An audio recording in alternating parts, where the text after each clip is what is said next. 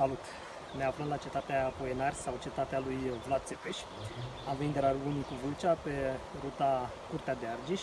Aș menționa că acolo este prima capitală a țării românești. De multe ori mi întreb elevii când vorbesc despre constituirea țării românești, care este prima capitală și le dau chiar un indiciu că se află la 32 de kilometri de Râmnicu Vâlcea și mulți nu își dau seama că este vorba de Curtea de Argeș câteva lucruri despre cetate. Um, din cercetările arheologice se pare că a existat încă în secolul XIII o fortificație acolo în crestele munților, uh, dar legenda ne spune că cetatea a fost refăcută sau construită din ordinul lui Vlad Țepeș, uh, domnul al țării românești în trei rânduri. O să detaliez ceva mai târziu despre acest uh, aspect. În domnia principală din 1456-1462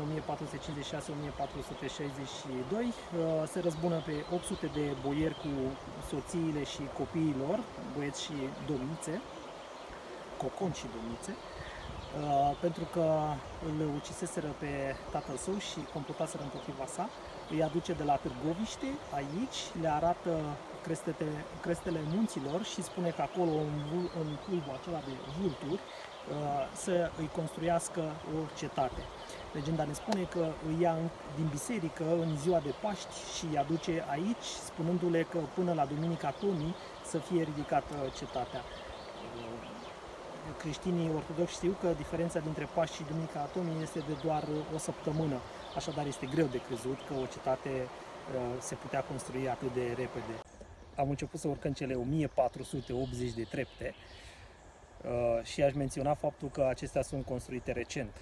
În 1457, când legenda ne spune că Țepe și pune pe boier să ridice cetatea, nu existau aceste trepte. Ne putem imagina domnițele și cucoanele care se chinuiau să care materiale pentru a ridica cetatea pe vârful muntelui. Este o diferență de 400 de metri de la strada principală până sus în vârful cetății. Recent, cetatea a fost reabilitată și s-a construit un gard electric împotriva urșilor care atacau turiștii.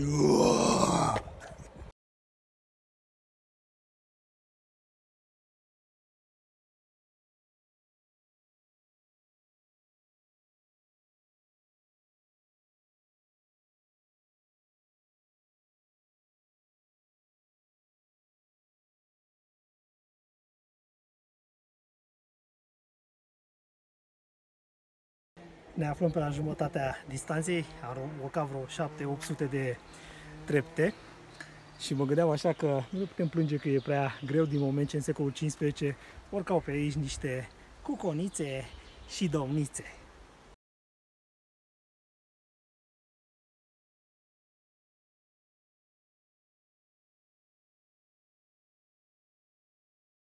Am urcat aproximativ 1000 de trepte Asta da sală, o să mai trebuie tată fine, se lucrează la gambe frumos.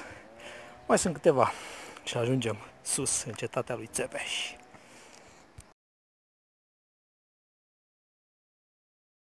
Și iată cum am fost mințiți. Ni s-a spus că urcăm 1480 de trepte și de fapt mai și coborâm. Și nu sunt chiar 1480, minus câteva trepte, nu? Suntem aproape de izbăvire, se vede cetatea, avem și steagul României, evident. În curând o să pătrundem în cetatea lui Vlad Țepeș.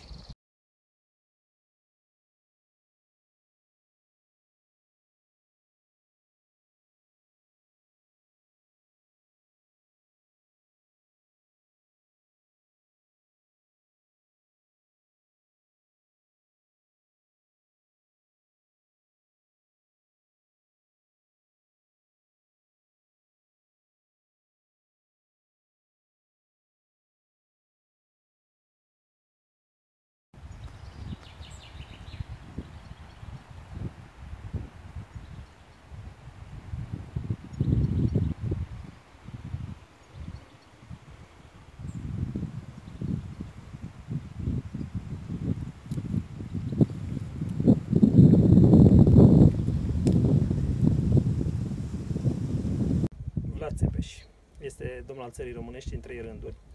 în 1448 pentru doar o lună sau maxim două luni de zile.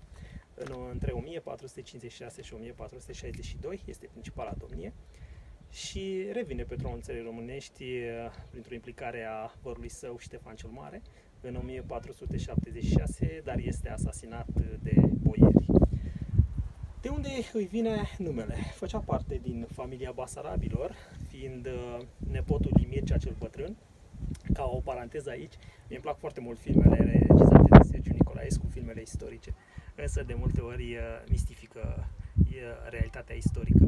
În filmul Mircea apare nepotul lui Mircea cel bătrân, adică Vlad Țepeș, ceea ce este evident un fals istoric, pentru că Mircea moare în 1418, iar Vlad Țepeș se naște undeva în 1430 sau 1431. Se naște în uh, Sighișoara, așa cum ne confirmă o parte dintre sursele istorice. Realitatea nu poate fi certificată uh, într-un procent de 100%. Vlad Țepeș sau Vlad Dracul sau Cazăclu Vlad, cum îl supranumeau turcii, adică Vlad cel bogat în țepe. Ei au simțit câteva mii, așa că știau oamenii ce să spună. Tatăl său era numit uh, Vlad uh, Dracul, făcea parte din ordinul Dragonului, uh, în care aveau drept uh, standard, aveau pe standard un uh, dragon, iar uh, populația din secolul XV vedeau în dragonul respectiv pe dracu și de aici vine numele de Drăculea sau Drăculea îl bătrân, pentru că Vlad Țepeș va fi supranumit la un moment dat uh, Drăculea cel tânăr, Vlad Dracul sau fiul Dracului, de la ordinul uh, lui, uh, de la ordinul din care făcea parte tatăl său. Ce e interesant e că tatăl lui Vlad Țepeș se numea Vlad și Vlad Țepeș a mai avut un frate, Vlad Călugărul. Deci tatăl Vlad, el Vlad, fratele Vlad, el Vlad, Dracul, fratele Vlad, Călugărul frumos, nu? Și apropo de cuvântul frumos, cel care îl dătunează este fratele său, fratele său, Radu cel frumos. Supranumele de frumos este pus de la o legendă care spune că uh, Radu se afla la curtea sultanului Mehmed al II-lea, căruia îi mai plăceau și băieții, astfel încât la un uh, petrecere uh, i-a atras de Radu copilul se sperie și fuge într-un, uh, într-un copac uh, și de aici se trage supranumele de Radu cel uh, frumos, pentru că a fost plăcut de sultan. Supranumele de Țepeș îi vine de la metoda de execuție folosită, tragerea în țeapă. Nu este neapărat inventată de el, dar este folosită. Metoda tragerii în țeapă era una educativă pentru că dacă ar fi fost decapitat, de exemplu, murea instantaneu. Însă cel care era supus unui astfel de supliciu nu își pierdea viața pe loc. Țeapa era destul de lungă, de 5, 6, chiar și 7 metri, era ascuțită la un cap, chiar dată cu seu, și se punea între picioarele celui care urma să fie tras în țeapă. Era bătută cu un ciocan de lemn, astfel încât să-i uh, pătrundă prin corp și să iasă undeva în partea dreaptă, fără să-i atingă organele vitale, ficatul și inima. Uh, după care țeapa se ridica și cel care uh, fusese tras în țeapă agoniza uneori chiar și două zile până își dădea sfârșitul. Așa că ne putem imagina cât de îngroziți erau chiar și turcii, care și ei aveau metode de tortură băgau, de exemplu, condamnații într-un sac uh, și uh, puneau un bolovan, uh, legau sacul și aruncau un bosfor. Sau să nu uităm cum în 1714 decapitează pe domnitorul țării românești, Constantin Mircoveanu și pe fiii săi, pentru că nu renunță la religia creștină. Așadar, într-adevăr, metoda tragerii în țeapă era folosită de Vlad Țepeș și pentru a-și îngrozi, speria dușmanii, adversarii politici, dar și infractorii, pentru că tragerea în țeapă era uh, și pentru aceștia din urmă. De asta se spune că în timpul său o cupă de aur lăsată la o fântână nu era uh, furată, nu se atingea nimeni de ea pentru că se temeau de crudul domitor. O legendă interesantă am găsit-o în cartea lui Constantin Zărnescu, Patimile lui Dracula, în care ne vorbește de faptul că Țepeș era îndrăgostit de o fecioară, Elisa pe numele său, uh, iar în momentul în care uh, țara românească este atacată de turci, Țepeș își lasă iubita în această cetate să-i dea semn când vin turcii. Legenda ne spune că din cetate se putea vedea într-o zi senină până în câmpia română și chiar până la Dunăre. Elisa trebuia să-i dea semnalul care indica faptul că turcii se apropie. Însă, Elisa e acuzată de trădare. Unul dintre oștenii lui Țepeș și uh, spune că de fapt ea transmite uh, între chindie și noapte, adică uh, când uh, se lasă seara, un semnal printr-o torță aprinsă turcilor, indicându-le faptul că Țepeș se află în acest loc. Uh, Vlad o pedepsește crunt, îi dă foc, uh, fecioara moare în uh, chinuri groaznice și în uh, perioada ce urmează domitorul uh, are coșmaruri, o visează uh, și se pare că ea trăiește într-o lume în care el nu poate să ajungă. De altfel, în carte ni se spune că Elisa îl sfătuiește și îi spune numai lucrurile de rău pentru ca el să poată să facă binele. Uh, chinuit de aceste coșmaruri, domnitorul uh, și caută câțiva sfetnici care să îl ajute să își elimine acest coșmar. Uh, alege dintre sfetnici un uh, bătrân secui și un uh, român, care inițial sunt speriați de faptul că Țepeș pentru orice ar spune e posibil să-i pedepsească crunt. La un moment dat secul spune voi, excelența voastră, învățând aspră carte și legi și prin alte părți, ați ajuns neînduplecat și aspru. N-avem curajul să vă sfătuim, suntem îngroziți. Spuneți, șoptește cu lucitor și tăietor Vlad. Trebuie atunci când, secuiul continuă, trebuie atunci când armăsarul dumneavoastră sare în sus, fața gropii, nemai voind să treacă, se deschideți cu noi sau fără de noi, repede mormântul Elisei. Dacă fecioara e moartă și stă cu mâinile pe piept, e moartă în veci. Dar de o vom găsi cu fața într-o parte sau în jos, respirând și cu dâre de sânge pe buze, atunci e strigoi, stafie, pocol, moroi. Românul bătrân spune, dacă găsim agrafe, ace și nasturi pe lângă ea, e pentru că vor rupe noaptea prin somn gulerele cămășilor. Ție, o rudelor ei, ca să vă sugă sângele. Vă sărută, își introduce dinții ca niște colțe albe acolo, ca să vă mistuie. Nasturii pe care îi rupe, îi păstrează precum pe niște sfinte sigilii, dacă respiră și se hrănește cu acel sânge, ce s-ar vedea pe buze, de unde oare să-l aibă, dacă nu poate chiar de la tine? Am încheiat citatul. Vlad spune, ce am putea face din lumea noastră bătrâni sfeșnici? N-am mai auzit astfel de lucruri niciodată. Secuiul bătrân. Cu flăcări și cu torțe, spre a nu părea oameni nebuni, cu veghe și straje, s-o prindem când se întoarce dimineața în zori, în mormânt. Când ea nu e acolo, ci călătorește, calul trece liniștit. Când ea respiră și sforăie întunecatul somn, armăsalul se ridică îngrozit în sus, simțind o piatră peste care nu vrea să calce și refuză să meargă mai departe. Băgându-i un piron, o țeapă de fier în inimă, ars în foc, excelența voastră, Elisa moare a doua oară, definitiv, recăpătându-și odigna, pacea și liniștea. Nu! a țipat Vlad. Am ucis-o odată pentru necredință și ea, sărmana mi iubită, a avut chiar multă, prea multă credință și fidelitate și cadă blestemul acela asupra -mi. Nu pot să încădui să o omorâm pe Elisa încă o dată. Îl voi podepsi pe cel care mi-a șoptit și tălmăcit greșit, spusele ei. Acela să ardă în foc, în infern. E rațiunea mea și e dreptatea mea. A lui Dumnezeu sau a... nu știm cui. Elisa va fi povara mea și alegerea mea, blestemul meu. Și aspră fie legea mea, nu o pot omorâ din nou. Prea bine, Amen. Așa să fie, au șoptit de săvârșiți de uluiți cei doi bravi și înțelepți bătrâni, venerați supuși și credincioși tăcuți ai domnitorului. Legenda ne spune că domnitorul reușește să treacă peste aceste coșmaruri și să își continue luptele împotriva Imperiului Otoman.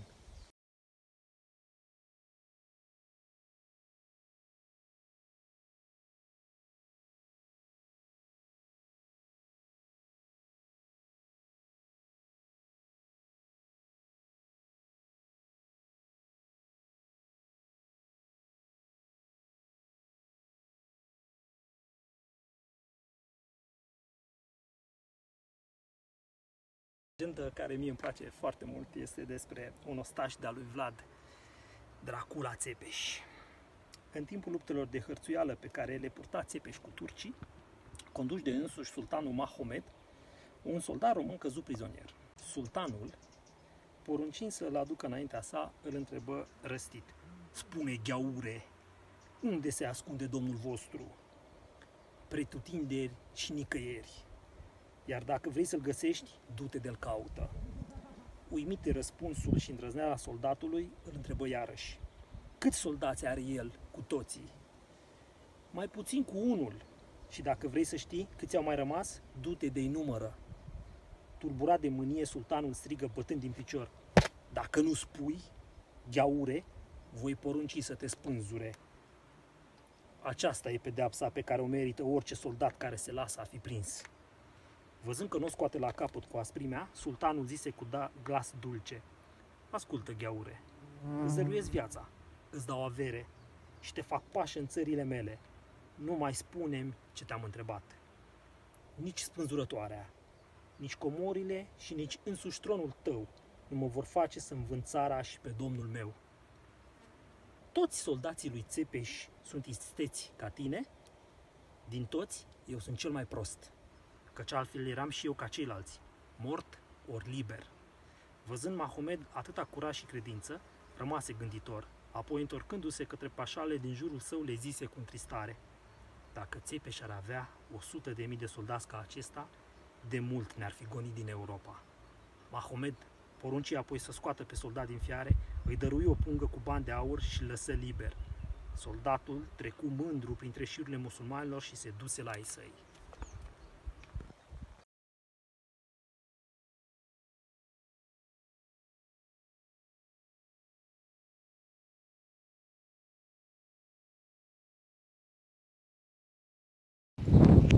din 1459, Țepeș a refuzat să mai plătească tribut Imperiului Otoman. Plătea undeva la 10.000 de galbeni. Uh, turcii încearcă să-l prindă, trimit un uh, contingent de câteva mii de soldați, 2-3 mii, sursele diferă, care să-l prinde pe domitor prin vicleșug. Numai că Vlad se prinde de ceea ce voiau să facă adversarii săi, îi uh, prinde el și evident că îi trage în țeapă Pașa, care comanda trupele otomane, se revoltă și spune că este un pașă și în niciun caz nu poate fi în rând cu ceilalți. Și atunci domnitorul spune că, având în vedere rangul său important de pașă, rezolvă problema prin a-l trage într-o țeapă mai înaltă, nu după rang, e mai sus. Pădurea de țepe, care era în jurul Târgoviștei, Uh, se pare că l-a îngrozit și pe cel care cucerise Constantinopolul în 1453, sultanul Mehmed al II-lea, care invadând țara românească în 1462 pentru a-l îndepărta pe Țepeș de Petron, uh, este îngrozit de spectacolul uh, turcilor, soldaților turci, ale căror oase încă atârnau în țepele din jurul Târgoviștei după 2 ani de zile de la tragerea lor în țeapă. Una dintre legende ne spune că în 1462, când Țepeș este nevoit să se retragă din fața invadatorului otoman, ajunge la cetatea Poenari și unul dintre fierarii din satele din jur, probabil din satul Areft de astăzi, îl sfătuiește să-și potcovească caii uh, invers, astfel încât uh, să inducă în eroare urmăritorii, crezând că pe unde pleacă, de fapt vine și pe unde vine, de fapt a plecat. Uh, legenda continuă și ne spune că Țepeș a trecut în Transilvania, unde mergea la regele Ungariei Matei Corvin, fiul lui Iancu de Hunedoara, pentru a-i cere sprijin împotriva Imperiului Otoman. Folosește pentru a trece în Transilvania un tunel secret. Ca fapt divers, ideea acestui tunel care face legătura dinspre Oltenia spre Ardeal spre Transilvania e veche. Ea este întâlnită și la uh, momentul cuceririi Daciei de către romani în, 1000, în 106, când uh, Decebal se retrage spre Transilvania și o face printr-un uh, tunel, își ascunde inclusiv tezaurul într-un astfel de tunel care se surupă la un moment dat uh, s-a considerat că o peșteră care poate să uh, susțină această legendă este peștera Polovraci. Da.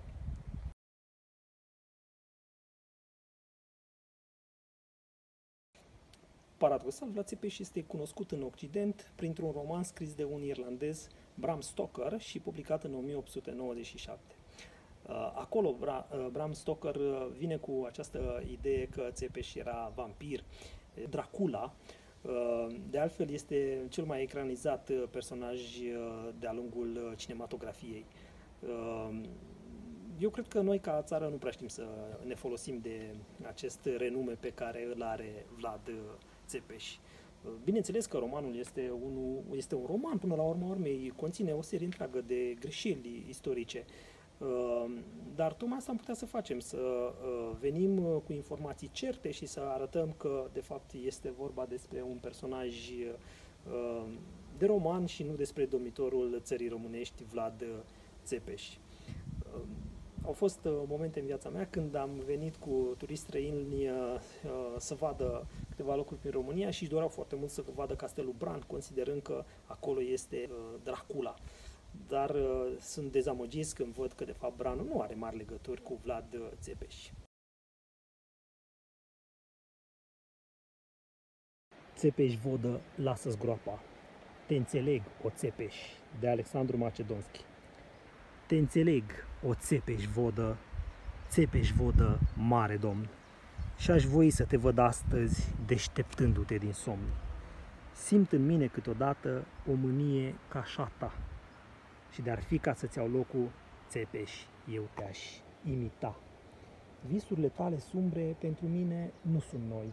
Țepeș, țepeș, lasă-ți groapa, să mai vii și printre noi.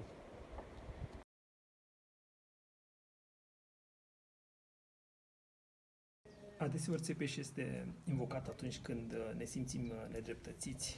De multe ori ideea pleacă de la Uh, scrisoarea a treia a lui Mihai Eminescu, în care acel, apare acel uh, fragment uh, deosebit de frumos unde ești tu, țepești, Doamne, ca punând mâna pe ei, să împarți în două cete, în zmintiți și în mișei, și în două taberi large cu deasila să-i aduni, să dai foc la pușcărie și la casa de nebuni. E o revoltă interioară pe care o simțim uneori, însă totuși suntem în secolul 21, nu mai suntem în secolul 15, nu mai pedesim cu tragerea în țeapă, nu mai folosim acele metode, putem să folosim uh, educația pentru a ne atinge scopurile de a fi un popor civilizat.